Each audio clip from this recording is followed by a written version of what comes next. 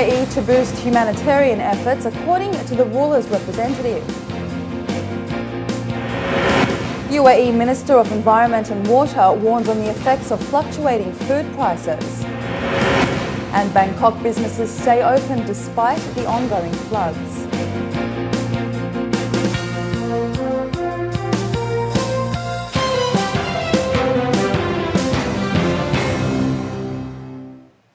This is 7 National News. In our top story this evening, His Highness Sheikh Hamdan bin Zayed Al Nahyan, the ruler's representative in the Western region and chairman of the Red Crescent Authority, has expressed his interest for the UAE to boost its humanitarian efforts to assist victims of poverty and famine on a global scale. The ruler's representative stated that these efforts will help revamp human development in marginalized zones and warned of the repercussions of poverty stricken nations due to drought and disease, especially in Somalia. Somalia. He urged the community to help take responsibility to help suffering through the provision of better living conditions of victims. Sheikh Hamdan also said that up to 750,000 people may die in the Horn of Africa in the next few months and called on the UAE to help the Red Crescent Authority with its efforts to supply food, water and medicine.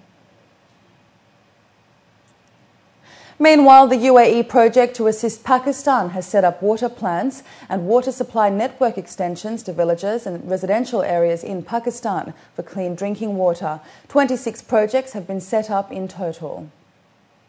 UAE Minister of Environment and Water has said that the fluctuation and soaring of food prices, especially on basic food staples, has contributed significantly to food insecurity across the globe and hampered the international efforts to curb famine victims, which has increased to over 1 billion people worldwide. In a statement to mark World Food Day 2011, which is Sunday, October the 16th, Dr. Rashid Ahmad bin Fahad said that the continuing food price fluctuation would hamper the concerted international efforts to reduce victims of poverty in poor countries. The minister cited World Bank reports, which stated that the rise in food prices during 2010 to 2011 pushed 70 million people to the acute poverty line. The minister noted that the UAE depends on importing to meet its food needs, indicating that the country is also at risk of price fluctuation effects, though less than other countries. The Dubai Health Authority is among the government sectors that recently introduced a host of online services. According to DHA officials, the new system is a significant leap for the health sector and is the first in the Middle East. In addition to implementing a paperless system, authorities say this will also help facilitate services faster. This will provide the community an improved platform to communicate with them, allowing faster, more efficient transactions and services. This includes everyone, especially those interested in obtaining a license to practice in Dubai, as well as investors looking for opportunities to set up businesses in the healthcare sector. The DHA is also now on Facebook and Twitter that aims to highlight a variety of campaigns, including blood donation, as well as provide other pertinent information to the public. Officials also said they will soon introduce iPhone and iPad applications. Now everybody's busy. They don't have time to come to the office and discuss those things. So we are creating an atmosphere that everybody around the world to link them through this website. And uh, fortunately, this time we had one of the best websites, which is in the Middle East this time. It's uh, one of the complete electronic program which can link the whole societies. Plus, the government had a, a vision, which was by His, uh, His Highness Sheikh Mohammed, that we should have all investment uh, easy for them. Now the investors they can easily go to the website to know what are the requirements for the clinics, uh, doctors, and so on. They can easily participate, and instead of visiting us physically, they don't know what they have to apply. So nowadays they have an idea. Before they come to us, they come ready. So we finish them earlier. Breast cancer affects many lives, but the global campaign continues in a bid to raise more awareness, early detection, and proper diagnosis. The UAE is also doing its share to help save as well as protect women and families from the disease. A variety of campaigns are running across the country during this month. Among them is an art exhibition that hopes to convey messages of hope, love, and support. These works of art have been on display for a week at the Festival Center in Dubai Festival City, attracting both enthusiasts as well as curious residents. More than the aesthetic value of each piece is an underlying message that aims to get people moving and taking a positive response to help combat breast cancer. These are some of the 50 UAE based professional and freelance artists who joined hands to raise awareness and send messages of encouragement, love, and hope to everyone. When this chance came, I felt like I really there's this feeling inside because I'm I'm positive that there is not a single family or woman who were touched by the breast cancer, either a relative or a friend, their mothers, you know. So we all like we are so much compassionate as a like this womanhood thing about this issue because we know how hard it is. So I felt like I really wanted to do something, you know. I don't know, and this is maybe the simplest way. This painting actually is depicting, it's just a juxtaposition of colors, right? But it has the barbed wire, which is probably the hardship, uh, the pain that the woman has to go through. But then you also see other angles to the painting, which means after the pain, it should be okay. Art is like a form of, um, it heals, I, I believe, because whenever you get depressed, you, you put in colors and you just concentrate on those works. It gives you a relief. Indeed, every person has a story to tell. Among them is a special needs child who painted this powerful piece after losing his dad to cancer. The different stories of loss, pain, and lessons learned are depicted on each frame in a kaleidoscope of colors and a variety of styles. My mother-in-law went through the same thing, and uh, that's how she she passed away she she fought as much as she could.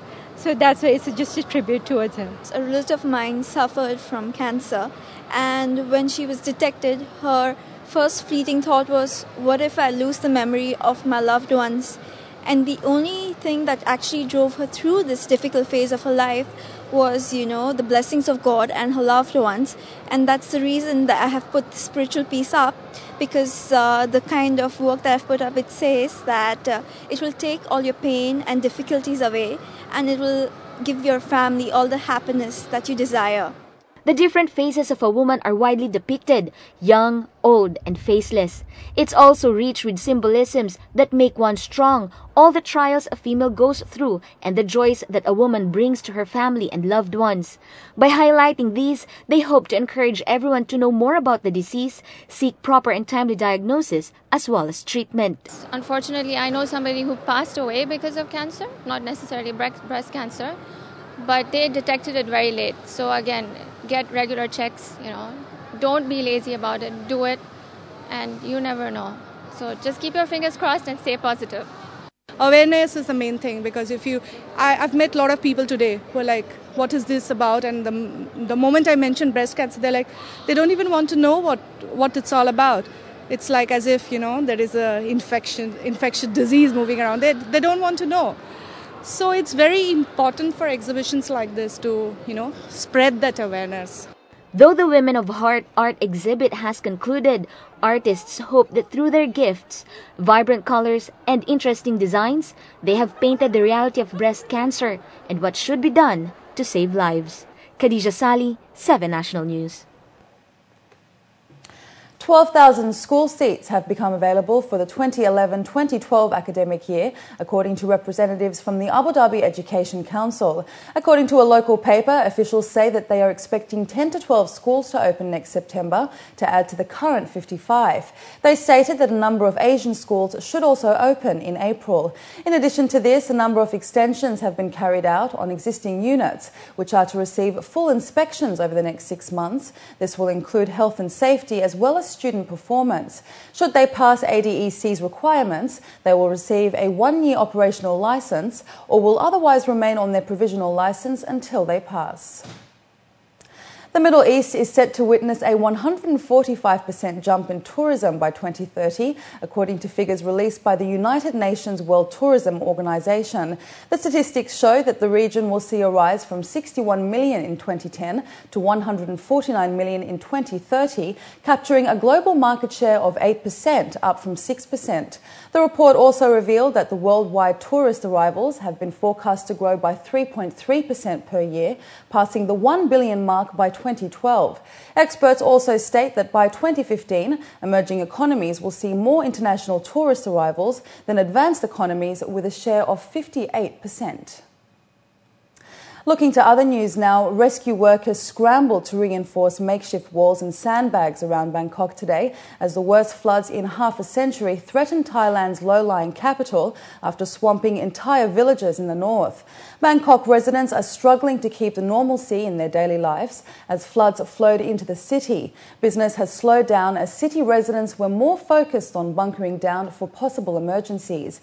Prime Minister Yingluck Shinawatra has sought to reassure Bangkok's 12 million people they should largely escape floods that have covered a third of the country since July, killing at least 289 people and causing about $3 billion in damage. Yingluck said that the government was focused on releasing releasing floodwater to the sea, Bangkok is the country's commercial heart, accounting for 41% of the economy. And dramas continue from the stricken New Zealand ship as salvage crews prepared today to pump fuel from the container ship Rena, which is still grounded on the Astrolabe Reef. Crews are racing against time to pump as much fuel as possible from the ship. Bad weather is forecast for early next week, raising the likelihood that the ship would break up and release more fuel into the ocean. Television New Zealand reported that crews managed to attach new pumps to Rena's hull. Officials are now concerned about the, the position of the stern of the ship and fear that it is much less stable than previously thought. Containers were leaning at a precarious angle on the ship, making the salvage job more dangerous. About 88 containers are known to have fallen off so far. Up next, we have the day's business news for you, so stay with us.